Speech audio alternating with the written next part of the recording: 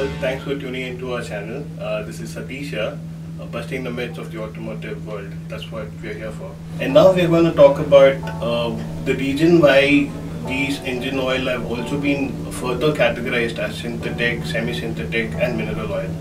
So let's talk about the reason for that is being the kind of refinement that these engine oil have gone through.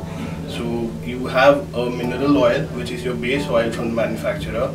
Then you have the semi-synthetic oil, which is a further much refined product compared to what the base oil is. And then lastly, you have the synthetic oil, which is the most premium and the best of the lot. It's the kind of usage that the customer has.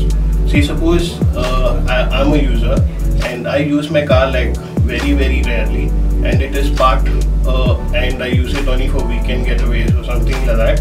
In that case, a base oil would do the job wherein you car very sparingly. So, but the only catch here is how frequently do you need to replace the engine oil.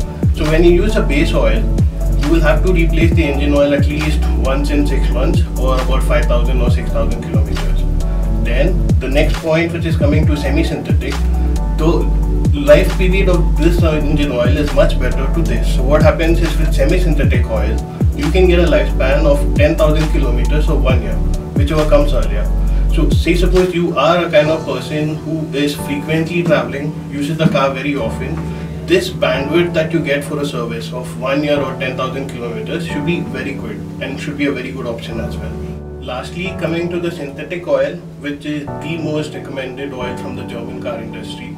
And the main reason for this is because this engine oil would give you the smoothest drive. Thank you for watching. Keep your wheels rolling and please, please give way to the ambulance. We'll see you soon next week.